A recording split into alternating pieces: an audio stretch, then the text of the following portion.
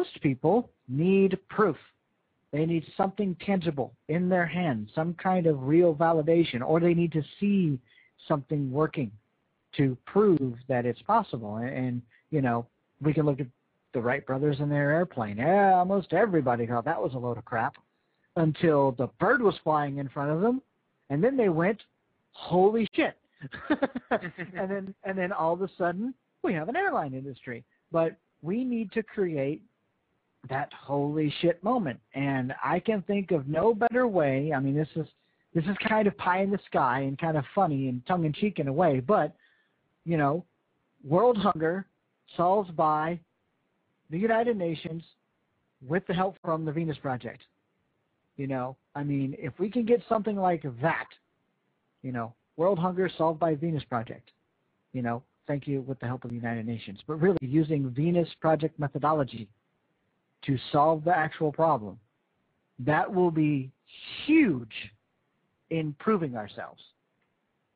Especially, I mean, even if it's not totally solving world hunger, but I don't know, saving a million people's lives a year or a month or whatever. You know, some crazy statistic that shows, yeah, we built this one building and um, the neighboring 15 villages now have food for life, or at least for the next 50 years because the building is pretty robust. Uh, you know, and the only thing that would hamper the building or the food would be some nefarious organization coming in and attacking it. And then if they did that, then it's per, it's very obvious that that organization or those people are absolutely not concerned in any way, shape, or form with actually helping people eat.